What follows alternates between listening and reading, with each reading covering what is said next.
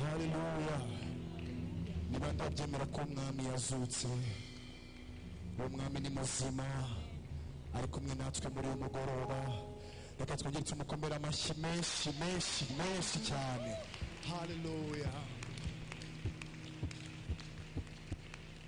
uyu munsi twatewe iteka twahawe umugisha. Wo kubana na healing abakozi b'imana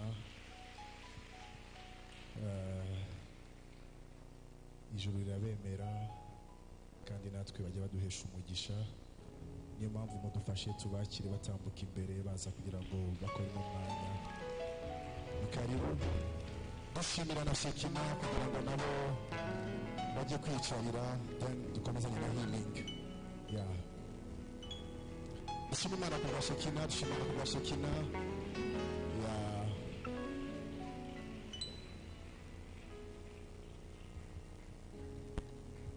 ariko suza mugenzi wawe uri ibumoso suza mugenzi wawe umuha ikaze muri uyu mugoroba umuha ikaze muherukane ejo umubwire amakuru uwo utazi umubaze izina ntawamenya ejo mwazahurira ahantu ntawamenya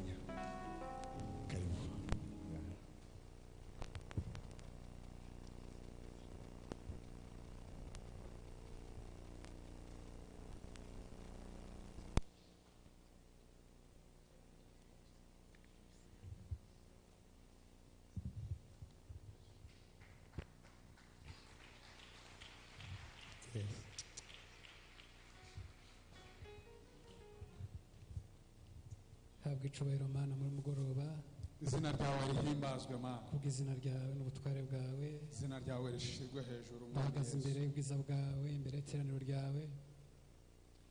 Hari icyo tugushaka uyu mugoroba yuko ugenderera ubugingo bwacu. Mu izina rya yesu kirisito kandi tugufitiye inyota turakunezerewe mana muri uyu mugoroba.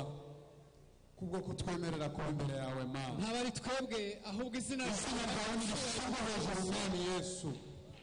Izina ryawe nirihimbazwe mwami mana kururuka kubana natwe muri uyu mwanya izina ryawe nirihimbazwe mwami kugira ngo icyo wagambiriye n'icyo ushaka ingoma yawe niyogere hose mu izina ryawe ntabwo ari twe ingoma yawe yogere hose mwami yesu izina rya yesu reka imbaraga zawe ingoma yawe yogere hose kugira ngo ushigwe hejuru duciye bugufi imitima yacu mu izina rya yesu ubugingo bwacu buhembukire imbere y'amaso yawe ku bwa yesu kirisito umwami wacu amen reka twese dukomere imana amashyi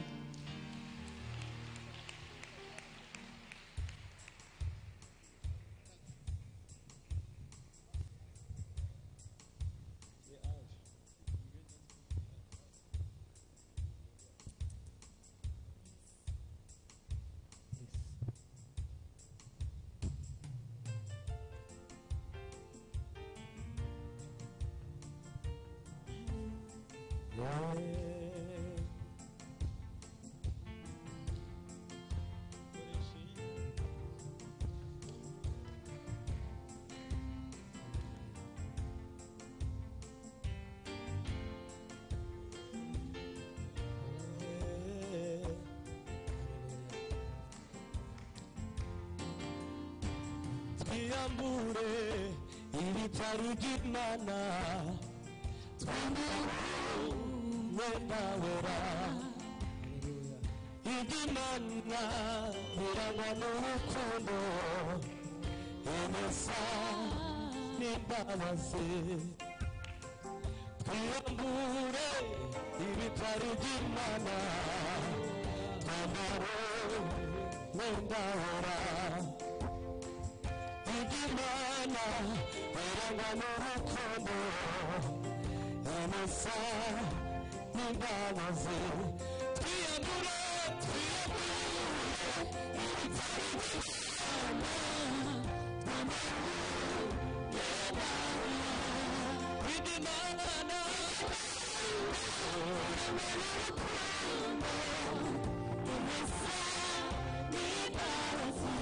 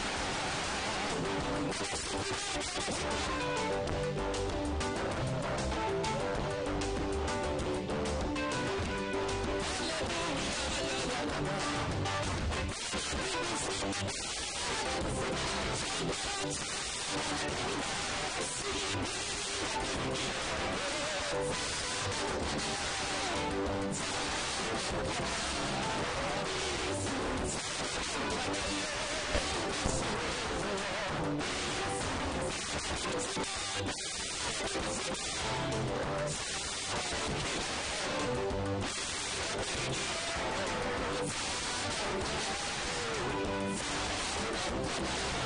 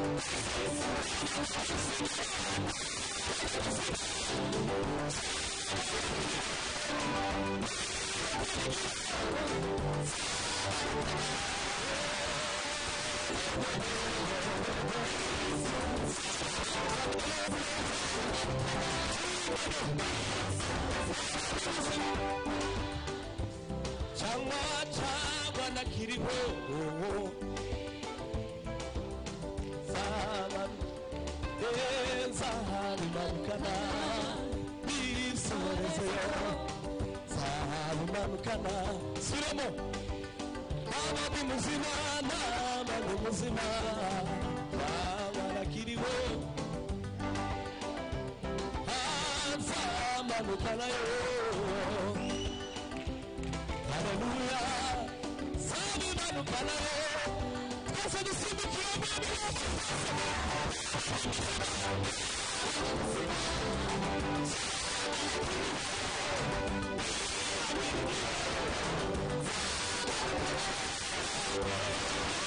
back.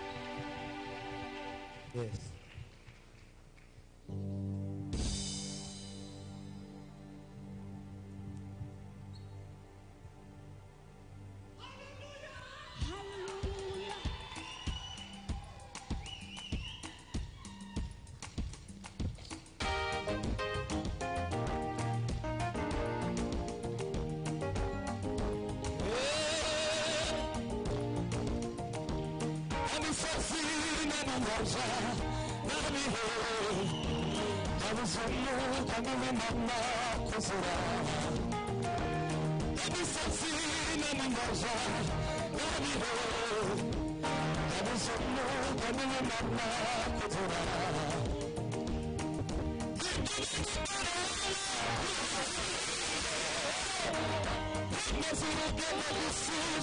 Nami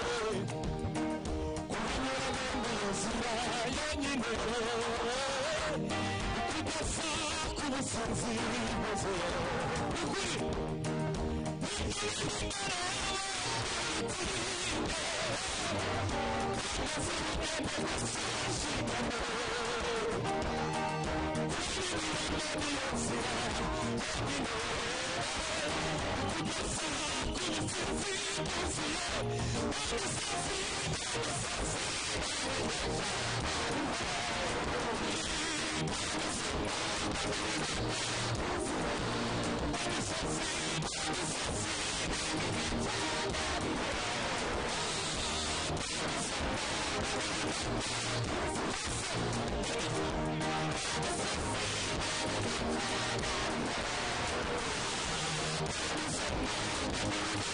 back. We'll be right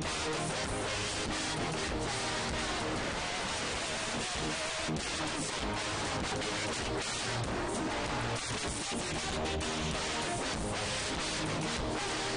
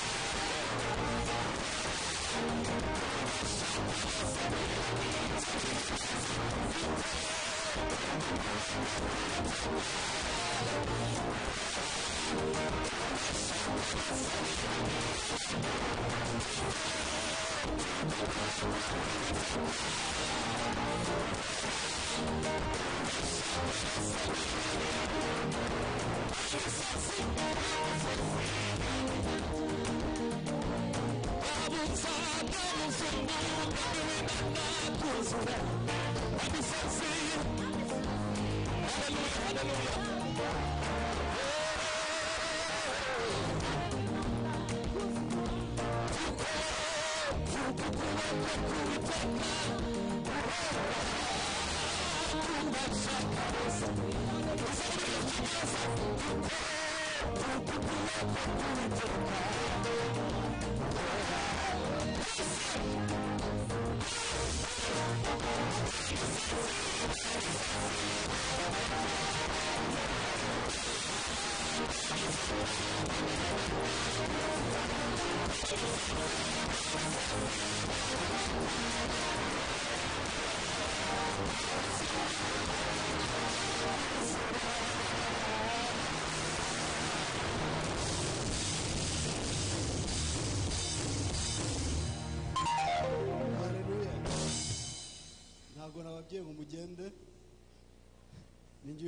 Umunsi muguma aha ngaha turacyakorana cyane. Haleluya karibu karibu mwegere hano bugufi cyane. Haleluya gira ukwicaye iruhande ati uyu ni umunsi wa gatanu. Umunsi wa nyuma w'igiterane amateraniro nk'aya. Usibye ku cyumweru nyine bisanzwe tuzaba dusoza. Hari hari icyo natekereje ejo. There's something I thought about yesterday, ntekereza kuri uyu munsi wa nyuma. thinking about this last day, imana injyana mu ijambo ryayo. And the Lord directed me to His Word. ah, mu bafilipi nagira ngo muhafungure. I'd like us to go to the book of Philippians, ibice bine umurongo wa cyenda. Abafilipi ibice bine umurongo wa cyenda. Philippians 4, verse 9. haravuga ngo ibyo nabigishije ibyo nababwirije ibyo mwanyumvanye ni byo n'ibyo mwambonanye aba ari byo mukora The things which you learned and received and heard and saw in me, these do, and the God of peace will be with you. ni bwo imana izatanga cyangwa itanga amahoro izabana nawe. Nibwo imana itanga amahoro izabana nawe. The God of peace will be with you. haleluya tumaze iminsi twiga. We've just been uh, learning inyigisho nyi- nziza cyane. great teachings. ndibaza se hajya ku icyumweru kirangiye? N'uyu munsi turiga. Nyuma yaho bimeze bite The last week we have been learning. Today we are learning. After this week, what's next? numva mbaye challenged cyangwa se eh, hari icyo imana imbwira nkwiriye gukora And I felt that this was a challenge, it's something God is asking me to do. ndagira ngo mbabaze akantu gatoya I just want to ask you a quick question. iyo turi mu biganiro ahantu runaka When we are talking with people, ni bande bashobora kuba barimo baravuze ngo ugiye gufata ijambo ukavuga ngo ntaguciye mu ijambo how many have said while they're discussing with other people something like, without interruption, without minding to interrupt? Have the people mu that ijambo before? agahita avuga when you say, I'm, I don't mean to cut you off, but then again you cut them off. Show it by hands. Good ni benshi cyane nanjye nabikoze There are so many people who do it, myself included. sinzi impamvu byaje I don't know why this happens. nsanga harimo iyo tubikoze harimo kutifata I realize that when we do it, there's lack of self control, harimo kutihangana yuko there's lack unarangiza of patience until somebody finishes. kandi tubikora twumva yuko bisanzwe And we do it thinking it's the normal. uravuze ngo ntaguciye mu ijambo kandi wari muciyemo. You, ijambo cut ku gahato. uh, ku gahato pe. ariko ukabura bikoze but then you do it. nsanga rero kwirinda no kwihangana ntabwo byoroshye. hari ibyo dukora tutabizi. There are things we do unknowingly, hari n'ibyo wenda dukora tubizi. And the things that we do knowingly. noneho impamvu healing nababwiye ngo aha ngaha And the reason I've asked them to stay, indirimbo baririmbye ya mbere sinzi niba mwayumvise. I don't know if you guys uh, understood the first song. yavuga ngo twiyambure ibitari iby'imana It says, Take off the things that do not are godly, ahandi baravuga ngo umva icyo ngusaba mana. And ni the other, umwuka w'ubwenge and the, ver- the other part says, Give us the spirit of wisdom, kugira ngo ibyo twize byose so that everything that we've been learning tubishyire mu bikorwa we put into practice. ntacyo byaba bimaze kugira twige It will be useless for us to come and learn, nitugenda mu ngo zacu he kugira igihenda and when we go back to our homes, we don't get to aho practice. batubona hanze kugira igihenda When people see outside, there's nothing that has changed. byaba ari agahinda gakomeye It will be great sorrow. Reka rero mbasabe yuko So let me ask you this. dusenga? Let's pray. dusenga tubwira imana ngo iduhe ubwenge. And let's ask God to give us wisdom, ifate akanwa kacu. To take hold of our mouth, ijye itugarura umwuka wera ajya adugarura so that the Holy Spirit directs us back. mu gihe tugiye kuvuga ibitagira umumaro when we're about to say something useless, mu tugiye twuranirwa kwihangana when we are out of a lack of patience.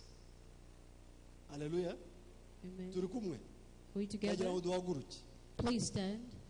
niturangiza turarimba iriya ndirimbo tuyisubiremo And Ah. after that, we are going to sing again, tubwira imana ngo ibidufashemo asking God to help us. reka buri muntu yisengere So let me ask everyone to pray for himself atekereze ku bintu bijya bimunanira and think about those things that are challenging for you, byakunaniye kwihanganira cyangwa kwifata. Where you have fallen short of uh, self control and patience. ubwira imana ati iki cyumweru.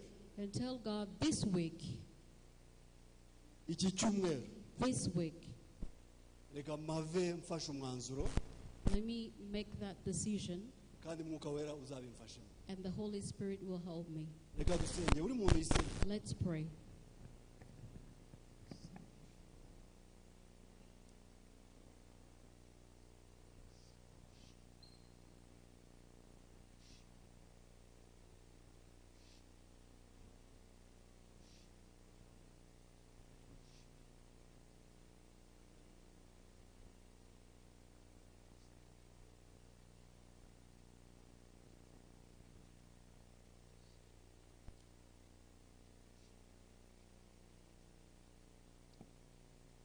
Mwami yesu turagushimye We thank you, Lord Jesus, tugushyize hejuru muri uyu mugoroba in this evening kuko uri imana yaturemye kandi tuzi neza because you are God and our Creator who knows us well. mwami turi abantu baremwanye intege nkeya Lord, we are created with weakness. dukora ibyaha tubizi tutanabizi We sin and sometimes we don't even know. Turagusaba mwami ngo udufashe. Turagusaba mwuka wera ngo urebe hahandi hatunaniye.